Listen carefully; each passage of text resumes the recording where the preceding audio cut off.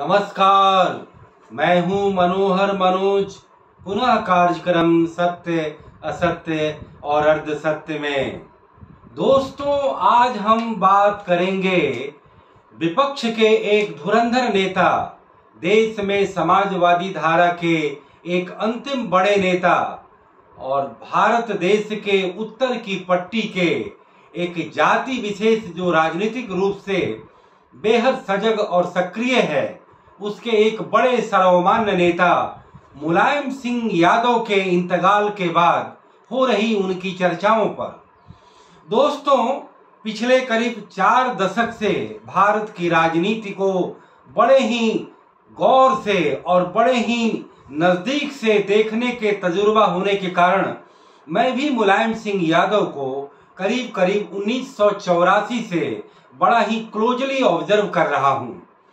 दोस्तों, जिस तरीके से मुलायम सिंह यादव की मैदानता में मृत्यु हो गई और उसके बाद क्या देश का सत्ता पक्ष हो, देश का विपक्ष हो और देश की सिविल सोसाइटी हो, मीडिया हो, मुलायम सिंह यादव के व्यक्तित्व और कृतित्व को लेकर तमाम गुणगानों में व्यस्त रहा। दोस्तों, मैं ये कहना चाहूँगा कि मुलायम सिंह यादव इस तरीके की टिप्पणी और चर्चा के लिए डिजर्व करते थे। मुलायम सिंह यादव कहने के लिए तो हम कह सकते हैं कि तमाम विरोधाभासी चरित्रों से एक तरह से लैस थे। उन्होंने शुद्ध विपक्ष की राजनीति की। एक समय वह देश के गैर कांग्रेसवाद की समाजवादी धारा के अग्रणी नेताओं में से थे। तो एक समय आया कि वह देश में गैर भाजपावाद के खिलाफ, गैर भाजपावाद की श्रेणी के भी अग्रणी नेताओं में अपने आप को शुमार किया। इसकी वजह यह है कि मुलायम सिंह यादव, चाहे जिस भी पृष्ठभूमि से आते हों, इटावा के एक साधारण ग्रामीण अहिर परिवार से बिलोंग करने वाले मुलायम सिंह यादव, शुरुआत के दौर में इंटर कॉलेज के शिक्षक थे। लेकिन पहलवानी उनका एक जातीय पृष्ठभूमि की वजह से एक बड़ा ही उनका शौक रहा। पहलवानी में उन्होंने नाम कमाया और कहीं न कहीं उन्हीं पहलवानी की कला और प्रतिभा ने उनके लिए राजनीति का भी द्वार खोल दिया। बताया जाता है, बकौल मुलायम सिंह यादव ही कि कुश्ती के दौरान जब उन्होंने एक जगह विजय हासिल की तो एक व्यक्ति ने उन्हें सीधे सीधे राजनीति में आने का ऑफ़र किया और मात्र 27 साल की उम्र में उन्नीस सौ सड़सठ में गैर कांग्रेसवाद और लोहियावाद और समाजवाद की उस आंधी में मुलायम सिंह यादव का भारतीय राजनीति में पदार्पण होता है और वह एक विधायक जीत करके आते हैं। और उसके बाद मुलायम सिंह यादव का जो राजनीतिक कैरियर शुरू होता है, वह उनके मरने तक जारी रहता है। तिरासी साल की उम्र में मृत्यु को प्राप्त मुलायम सिंह यादव का अगर मैं उन्नीस सौ चौरासी के बाद का करियर देखता हूँ तो मुझे सबसे पहले याद आता है कि उस समय माया एक बड़ी ही प्रतिष्ठित राजनीतिक पत्रिका हुआ करती थी। तो उसमें एक स्टोरी आई थी कि उस समय भारत में विपक्ष के एक बड़े धुरंधर नेता चौधरी चरण सिंह, जो जनता पार्टी के एक मेन पिलर थे, और एक वक्त में उन्होंने मोरारजी देसाई को डिच करके कांग्रेस के सपोर्ट से वो प्रधानमंत्री बने, और उन्होंने भारत में पिछड़े और दलित की राजनीति का एक तरह से आगाज़ किया। मुझे याद आता है कि उन्होंने सबसे पहले दलित मजदूर किसान पार्टी बनाई, जनता पार्टी से विलग होने के बाद। उसके बाद उन्होंने लोक दल बनाया। और उस लोक दल में जो उनके सारथी थे, जो अलग अलग राज्यों के छत्रप थे, उसमें बिहार के कर्पूरी ठाकुर जो एक बड़े चोटी के समाजवादी नेता थे, जिन्होंने अपने व्यक्तित्व और कर्तृत्व से बिहार के तमाम राजनीतिक कार्यकर्ताओं को बड़े ज़बरदस्त तरीके से प्रभावित किया। फिर उसके बाद उस चौधरी चरण सिंह के दल में हरियाणा से देवीलाल, कुंभाराम आर्य और उत्तर प्रदेश से मुलायम सिंह यादव जुड़े थे। मुझे याद आता है कि जब बिहार के बाद चूँकि बिहार में कर्पूरी ठाकुर एक सर्वमान्य नेता थे, उत्तर प्रदेश में नेतृत्व की कमान चौधरी चरण सिंह किसको सौंपेंगे? तो उसमें करीब दो तीन यादव नेता मुलायम सिंह यादव के सामने थे, बल्कि वह मुलायम सिंह यादव से कुछ सीनियर नेता थे। लेकिन मुलायम सिंह यादव ने अपने राजनीतिक कौशल का परिचय देते हुए जिस तरीके से चौधरी चरण सिंह को साधा और चौधरी चरण सिंह को विवश किया कि वो उत्तर प्रदेश के लोकदल के नेता के रूप में मुलायम सिंह यादव को उन्होंने प्रतिस्थापित किया। तब से मुलायम सिंह यादव की जो राजनीतिक जो चढ़ाव की जो यात्रा शुरू हुई, वह कभी रुकने का नाम नहीं ली। दोस्तों, उसके बाद देश में उन्नीस सौ सतासी में एक नया राजनीतिक घटनाक्रम हुआ। कांग्रेस के बागी नेता वीपी सिंह पूरे देश में भ्रष्टाचार के खिलाफ एक अभियान के हीरो बने। बोफोर्स के बहाने वह विपक्षी एकता का जनता पार्टी के बाद से एक दूसरा चरण आरंभ करते हैं। और इसके तहत हरियाणा में नए नए विजित हुए देवीलाल। जिनकी सरकार बनी थी। देवीलाल का सहारा मिलता है। बिहार में कर्पूरी ठाकुर की उसी दौरान मृत्यु हो गई। तो उसके बाद बिहार में उन्हें लालू यादव, नीतीश कुमार और रघुनाथ झा का आश्रय मिलता है। और तीसरा, उत्तर प्रदेश में उन्हें मुलायम सिंह यादव का सहारा मिलता है। बीपी सिंह उन्नीस सौ सतासी के बाद देश में भ्रष्टाचार विरोध और कांग्रेस विरोध के एक नए डार्लिंग बनते हैं। उन्नीस में कांग्रेस पार्टी की हार होती है और भारतीय जनता पार्टी और वामपंथी पार्टियों के सहयोग से जनता दल केंद्र में सरकार बनाती है बीपी सिंह के नेतृत्व में। उसी दौरान उत्तर प्रदेश में विधानसभा की का भी चुनाव हुआ और उस चुनाव में जनता दल को बहुमत मिला और जनता दल के जब लीडरशिप चुनने की बात आई, जब लीडर चुनने की बात आई तो मुलायम सिंह यादव और अजीत सिंह, चौधरी चरण सिंह के बेटे में बिल्कुल आमने सामने की लड़ाई हुई। और मुलायम सिंह यादव ने समर्थन के आधार पर, विधायकों के समर्थन के आधार पर अजीत सिंह को पटकनी दी। और वीपी सिंह नहीं चाहते थे कि मुलायम सिंह यादव उत्तर प्रदेश के मुख्यमंत्री बने, उनकी पहली पसंद अजीत सिंह थे, लेकिन मुलायम सिंह यादव ने नेतृत्व की बागडोर संभाली और उत्तर प्रदेश के मुख्यमंत्री बने। लेकिन बीपी सिंह का जब मंडल का अभियान आता है, फिर मंडल के बाद जब भारतीय जनता पार्टी उनको समर्थन देना बंद करती है और राम जन्मभूमि को लेकर के लाल कृष्ण आडवाणी यात्रा पर निकलते हैं तो सबसे पहले उनकी यात्रा को बिहार के नवनियुक्त मुख्यमंत्री लालू प्रसाद रोकते हैं, जबकि लालू यादव भी बीपी सिंह की पहली पसंद नहीं थे। लेकिन बीपी सिंह ने जब देवीलाल को काउंटर करने के लिए जब मंडल कमीशन की घोषणा की, और उस मंडल कमीशन पर सबसे पहले उन्हें लालू यादव का साथ मिला। मुलायम सिंह यादव का भी साथ मिला, लेकिन मुलायम सिंह यादव इस मामले में बेहद चौकन्ने थे कि वह बीपी सिंह को अपना नेता नहीं मानेंगे क्योंकि दोनों उत्तर प्रदेश से बिलोंग करते थे। तो ऐसे में जिस लालू यादव को मुख्यमंत्री बनाने में बीपी सिंह ने उतना सपोर्ट नहीं किया था, उनकी पहली पसंद राम सुंदर दास थे। लेकिन लालू यादव ने जिस तरीके से आडवाणी की रथ यात्रा को लेकर एक कड़ा स्टैंड लिया और आडवाणी को समस्तीपुर में गिरफ़्तार करवाया, उसके बाद लालू यादव कहीं ना कहीं सेकुलरिज्म को लेकर के एक नए हीरो के रूप में उभरते हैं और वो बीपी सिंह की भी पसंद बन जाते हैं, क्योंकि लाल केशा आडवाणी की रथ यात्रा बीपी सिंह के लिए नागवार गुजर रही थी। वह कहीं सामाजिक न्याय और मंडल की राजनीति में लगे थे और भारतीय जनता पार्टी राम रथ यात्रा के ज़रिए कमंडल की राजनीति में उतर आई थी। वो एक हिंदुत्व की राजनीति करना चाह रही थी। तो मंडल और मंदिर का ये जो क्लैश हुआ, उसमें एक तरफ़ लालू यादव बिहार में मंडल के मसीहा बनकर के उभरते हैं और बीपी सिंह के एक बहुत बड़े दाहिने हाथ बनते हैं। तो दूसरी तरफ़ उत्तर प्रदेश में मुलायम सिंह यादव ऊपरी तौर पर तो मंडल का समर्थन ज़रूर कर रहे थे, लेकिन अंदर खाने वो वक्त का इंतज़ार कर रहे थे। लेकिन मुलायम सिंह यादव का भी दौर आता है कि जब कार सेवा के बहाने तमाम देश के दक्षिणपंथी हिंदूवादी धड़े उस अयोध्या के बाबरी मस्जिद में खड़े होते हैं और बाबरी मस्जिद पर कहीं ना कहीं किसी पूजा या कोसी परिक्रमा के नाम पर वह एक पूजा करना चाहते हैं। सरकार को इस बात का अंदेशा लगता है मुलायम सिंह यादव की सरकार को कि कहीं उस मस्जिद के ढांचे को गिरा न दिया जाए। तो मुलायम सिंह यादव वो अयोध्या में कार सेवकों पर गोली चलाने का आदेश देते हैं। और गोली चलाने के आदेश के बाद मुलायम सिंह यादव भी एक तरीके से सेकुलरिज्म के या एक मुस्लिम पंथी राजनीति के भी एक नए मसीहा बनकर के उभरते हैं। लेकिन मुलायम सिंह यादव ने जो ये स्टैंड लिया वह लालू यादव के स्टैंड से थोड़ा ज़्यादा सैद्धांतिक था। लालू यादव के स्टैंड से कम राजनीतिक चालाकी से भरा था। क्योंकि मुलायम सिंह यादव के इस स्टैंड ने आगामी जब मुलायम सिंह यादव को एक तरह से तुरंत चुनाव का जब सामना करना पड़ा तो उनकी हार होती है। और उस हार को वो भली भांति मुलायम सिंह यादव स्वीकार करते हैं।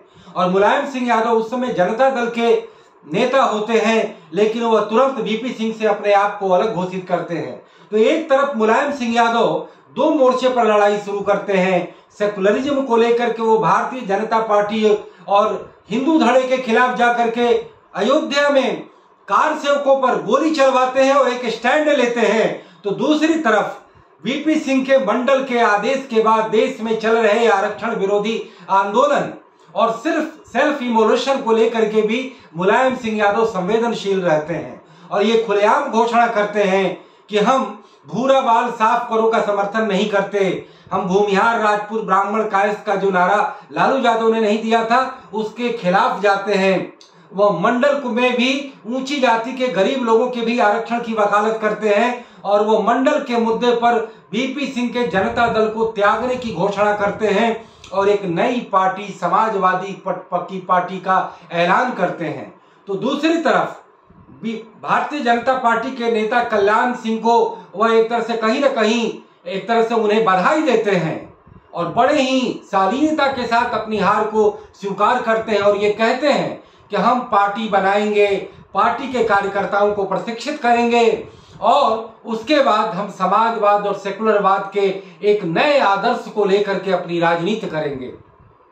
उसके बाद मुलायम सिंह यादव एक नया राजनीतिक बेस बनाते हैं। समाजवादी पार्टी खड़ा करते हैं, समाजवादी पार्टी के कार्यकर्ताओं को एक तरह से विस्तार देते हैं, प्रशिक्षित करते हैं, और वह सोशल जस्टिस और सेकुलरिज्म दोनों को लेकर के वीपी सिंह और लालू यादव की तुलना में एक अलग स्टैंड लेते हैं। एक ऐसा स्टैंड जिसमें राजनीतिक चालाकी नहीं दिखती, जिसमें राजनीतिक फ़ायदा नहीं दिखता, जिसमें उन्होंने एक तरह से मुख्यमंत्री की कुर्सी का एक तरह से वो परित्याग करते हैं। उत्तर प्रदेश में हिंदू बहुल मतदाताओं के बीच भी वह एक कन्विक्शन के साथ, एक स्टैंड के साथ अपनी बात को लेकर के जाते हैं। और उसके बाद उनकी समाजवादी पार्टी का जो सफ़र शुरू होता है तो वह उन्नीस सौ तिरानवे तक जाते जाते वह पार्टी उत्तर प्रदेश की भारतीय जनता पार्टी के बाद एक सबसे बड़ी पार्टी में तब्दील हो जाती है।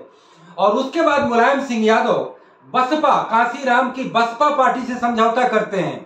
और कहीं ना कहीं वो भारतीय जनता पार्टी को काउंटर करने के लिए एक बड़ा सोशल इक्वेशन तैयार करते हैं, एक नया पॉलिटिकल इक्वेशन तैयार करते हैं और भारतीय जनता पार्टी के बरक्स अपने आप को खड़ा करते हैं। तो मुलायम सिंह यादव एक सिद्धांतवादी राजनीति के लिए जाने जाते हैं। वह लालू यादव की तरह इरिटेटिंग बयान नहीं देते, वह उनमें अहंकार और दम्भ नहीं दिखाई देता, वह भारतीय जनता पार्टी के कोर हिंदू मतदाताओं के प्रति भी अपने प्रति सिंपैथी जताने का स्पेस भी प्रदान करते हैं। वह एक तरफ़ कहते हैं कि मैं भी हनुमान का भक्त हूँ और मैंने एक अयोध्या की मस्जिद बचा करके मैंने देश के तमाम मंदिरों को बचाने का काम किया है। तो कहीं ना कहीं मुलायम सिंह यादव की राजनीति के अपने एक आइडियोलॉजिकल स्टैंड भी दिखाई पड़ते हैं। तो दूसरी तरफ़ उनकी राजनीति के कुछ पॉलिटिकल स्टैंड भी दिखाई देते हैं। उन्हें पता है कि उत्तर प्रदेश की 20 प्रतिशत आबादी मुस्लिम है। और मुस्लिमों के जब इस मैटर पर जब उनका वो साथ देते हैं तो कहीं ना कहीं मुस्लिम वोट बैंक उनके तरफ़ तो आता ही है। दूसरी तरफ़, वह उत्तर प्रदेश की तमाम पिछड़ी जातियों के भी डार्लिंग और नेता बनकर के पहले से ही स्थापित हैं। लेकिन मुलायम सिंह यादव के उत्तर प्रदेश की राजनीति में एक नया अध्याय ये खुलता है कि वह उत्तर प्रदेश की अगड़ी जातियों के भी कहीं ना कहीं अपने अपने तरीके से उन्हें अट्रैक्ट करते हैं। अगड़ी जाति के वो तमाम जो माफिया नेता हैं, जिसमें कि शुक्ला और जिसमें कि तिवारी, ये सारे मुलायम सिंह यादव के समर्थक बन जाते हैं। और फिर उसके बाद मुलायम सिंह यादव न केवल उत्तर प्रदेश की एक बड़ी पॉलिटिकल फोर्स बनते हैं, बल्कि वह समूचे देश में भारतीय जनता पार्टी के खिलाफ एक आइडियोलॉजिकल और पॉलिटिकल स्टैंड लेने वाला एक सबसे बड़े नेता के रूप में अपने आप को उभारते हैं। फिर उन्नीस और छियानवे में जब देवगौड़ा की सरकार बनती है, जब यूनाइटेड फ्रंट बनता है तो मुलायम सिंह यादव एक मज़बूत फ्रंट के रूप में उसमें शामिल होते हैं। देश के रक्षा मंत्री बनते हैं और मौके मौके पर वह लालू यादव और बीपी सिंह को कड़ी सबक भी से सिखाते हैं। तो कहीं ना कहीं देश में जो सेकुलरिज्म जो सोशलिज्म जो राष्ट्रवाद धर्म धर्मनिरपेक्षतावाद और सामाजिक न्यायवाद की त्रिकोण पर चल रही राजनीति के मुलायम सिंह यादव एक ऐसे प्लेयर बनते हैं, जिसमें वो उत्तर प्रदेश की अगड़ी जातियों का भी समर्थन हासिल करते हैं। भारतीय जनता पार्टी के तमाम नेताओं से भी उनके बड़े अंतरंग और मधुर संबंध बने रहते हैं, जबकि लालू यादव के साथ ऐसी बात नहीं देखी गई। और साथ साथ मुलायम सिंह यादव जहाँ गैर कांग्रेसवाद को लेकर के राम मनोहर लोहिया और जयप्रकाश नारायण की ओरिजिनल स्टैंड पर भी कायम रहते हैं। और लालू यादव जहाँ कांग्रेस का समर्थन ले लेते हैं, लेकिन मुलायम सिंह यादव कांग्रेस का समर्थन लेने में कोताही भरते हैं। तो ऐसे में मुलायम सिंह यादव का जो ये सफ़र शुरू होता है कि फिर उसके बाद वह 2003 में वो उत्तर प्रदेश के मुख्यमंत्री बनते हैं और मुख्यमंत्री के रूप में अटल बिहारी वाजपेयी भी उनका समर्थन करते हैं। और फिर उसके बाद भारतीय जनता पार्टी वहाँ कमज़ोर होती है कहने के लिए तो भारतीय जनता पार्टी के लोग भी अंदर खाने से इस बात को जानते हैं कि हमें, हमारा मुलायम सिंह यादव ने विरोध भी ज़रूर किया है, लेकिन कहीं ना कहीं हमें कांग्रेस पार्टी के बजाय भारतीय जनता पार्टी को भी इस राजनीति के पटल पर चलायमान रखने में हमें मदद की है।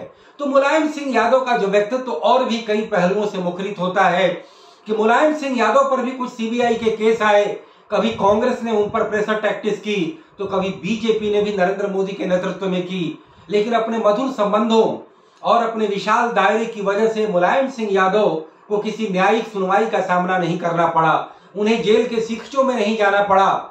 और उन्होंने भी भारत की राजनीति में चल रही डायनेस्टी पॉलिसी पॉलिटिक्स को अपनाया, लेकिन उसमें कहीं भी एक तरह से वो ऑफेंडिंग नहीं लगता था।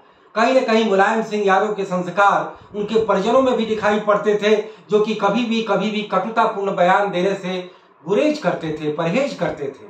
और मुलायम सिंह यादव एक दौर आया कि 2013 में अपने राजनीति की बागडोर और विरासत अखिलेश यादव को सौंपते हैं। और अखिलेश यादव भी कहीं ना कहीं अपने पिता के संस्कार और अपने व्यक्तिगत कृत्यों की वजह से उत्तर प्रदेश की राजनीति में आत्मसात कर दिए जाते हैं। और उत्तर प्रदेश में वह 2012 में वो उत्तर प्रदेश के भी मुख्यमंत्री बनते हैं और मुलायम सिंह यादव कहीं से भी ऐसा नहीं लगता कि वो अपने पुत्र मोह में उसी तरीके से जकड़े हैं जैसे लालू और जैसे देवीलाल थे, बल्कि वह मौके दर मौके अखिलेश यादव को निरंतर नसीहतें देते रहे, सार्वजनिक मंच पर खुलेआम अपने पुत्र अखिलेश यादव की आलोचना करते रहे और अपने भाई को अखिलेश यादव पर तरजीह देते रहे।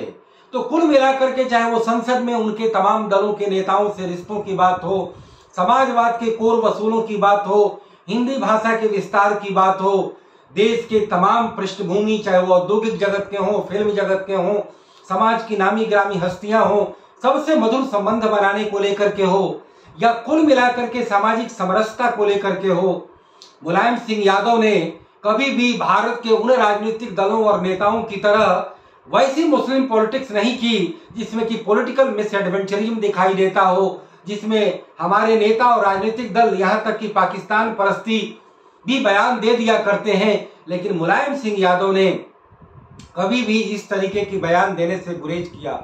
और मुलायम सिंह यादव कहीं किसी न किसी न किसी रूप में हमें यह मानना पड़ेगा कि वह राम मनोहर लोहिया और जयप्रकाश के कुछ कोर आइडियल और प्रिंसिपल को, लेकर के भी जिए। लेकिन यह बात ठीक है कि अपने समकालीन राजनीति के दौर में इस कलयुगी राजनीति के दौर में जो तमाम बीमारियाँ आई कि वो धन सत्ता ग्लेमर सत्ता वंशवाद पैसे का मोह ऐसा नहीं है कि वो विशुद्ध मुलायम सिंह यादव इन आरोपों से एक तरह से मुक्त थे।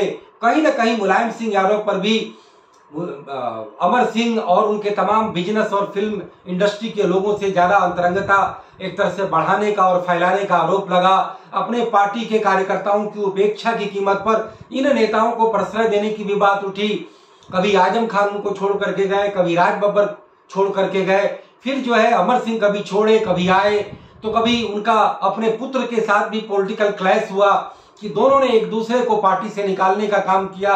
लेकिन कुल मिलाकर के मुलायम सिंह यादव भारतीय परंपरा के, भारतीय समाजवाद के आइडियलिज्म के ज़मीन से उठने वाले एक ऐसे मिट्टी की सौंध लिए हुए नेता के रूप में अपने आप को इस भारतीय राजनीति के आकाश में एक नक्षत्र के रूप में प्रतिस्थापित किया, जिसे हम यह जान सकते हैं कि उन्हें धरती पुत्र के नाम से क्यों बुलाया जाता, उन्हें नेताजी के नाम से क्यों संबोधित किया जाता, उनका पहनावा, उनका उड़ावा उनकी बिल्कुल सादगी जिसमें कि कहीं से भी अहंकार नहीं टपकता था, कहीं से भी इरिटेटिंग और कट्टर बयानों से लबरेज नहीं होता था। अपने धुर विरोधी भारतीय जनता पार्टी में नरेंद्र मोदी की भी प्रशंसा बटोर लेना, अटल बिहारी वाजपेयी और आडवाणी जैसे नेताओं को भी इतना ज़्यादा सम्मान देना और गैर कांग्रेसवाद की कहीं न कहीं अपने आप में अंदर में एक अलग जगाए रखना, जो वो सत्तर और अस्सी के दशक में हुआ करते थे तो वह मुलायम सिंह की मर्दानगी को व्यक्त करता है। और यही वजह है कि मुलायम सिंह यादव भले लालू यादव के बाद में संबंधी बन गए, लेकिन लालू यादव की जो राजनीति की जो शैली थी, उसका उन्होंने निरंतर और सदैव समर्थन नहीं किया। मुलायम सिंह यादव कहीं ना कहीं चंद्रशेखर के संस्कारों से के छाप के नेता थे, राम मनोहर लोहिया और जयप्रकाश नारायण की छाप के नेता थे, और देश की तमाम राजनीतिक पीढ़ी में सब बड़े बड़े नेताओं का सम्मान करने वाली, संस्कार को जीने वाले नेता थे, पत्रकारों का सम्मान देने वाले वो नेता थे। मैं अंत में ये कहना चाहूँगा कि मेरे एक मरहूम दोस्त ने उनसे एक बार मिलवाया था जब कॉन्स्टिट्यूशन क्लब में समाजवादी पार्टी की कोई एक बहुत बड़ी बैठक चल रही थी। और वो सुनील त्रिपाठी जो मेरे दोस्त थे, जो आज दुनिया में नहीं है, वो सीधे मेरे को हाथ पकड़ करके ले गए और सीधे मुलायम सिंह यादव के सामने कहे कि नेताजी, ये मनोहर मनोज है और ये भारतीय युवा पत्रकार संगठन के अध्यक्ष हैं। तो फिर नेताजी ने एक थोड़े गौर से मुझे देखा और फिर कहा कि हम लोग अभी फुर्सत में मुलाकात करेंगे। लेकिन अखबारों, पत्रिकाओं और तमाम इस चार दशक की भारतीय राजनीति की उठा पटक और पॉलिटिकल थिएटर में जो मैंने मुलायम सिंह यादव का रोल दिखा, वह मुलायम सिंह यादव हमेशा मेरे लिए एक इज़्ज़त और सम्मान के पात्र रहे।